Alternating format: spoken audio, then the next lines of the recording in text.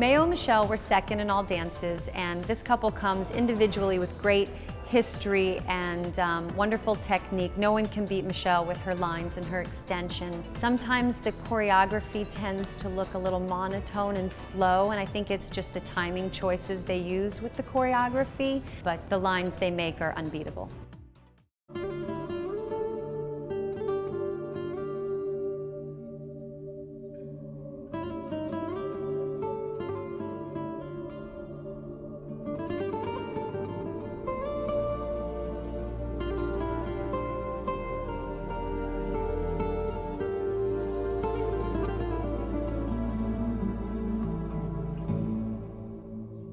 Cuando se duerma la ciudad y se despinte el sol.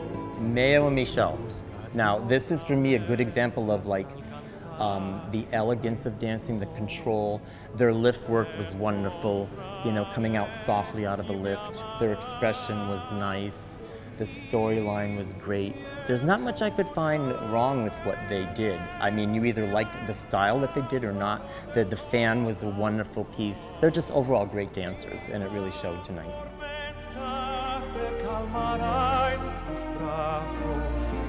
you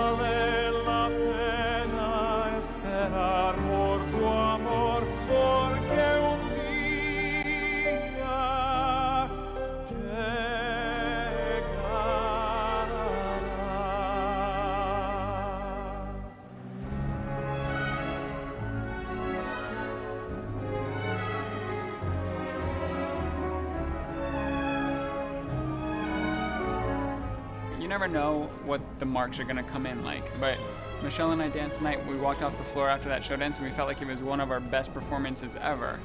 And it was one of our re worst results for that show dance ever. and, and other times we've had nights where we've gone out and danced and we felt like really it wasn't our best night and the show dance felt a little bit shaky and not solid and we've had some of the best results we've ever had. So it's always really unpredictable. Actually, I think it's probably one of the most confounding parts about doing this sport because everything is subjective.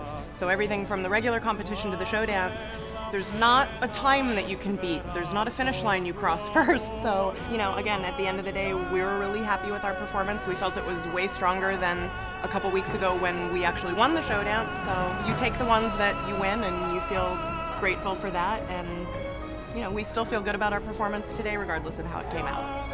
You don't notice while we're dancing, but Michelle's actually passing that fan from hand to hand circling around my body, circling it around her body. It's actually really hard not to drop it. So we actually drop it a lot, and we're really happy when we have a night when we don't drop it. But tonight we dropped it, but it actually fell at the perfect moment. So it's like it almost looked intentional. We hope. We haven't seen the video, but we'll see.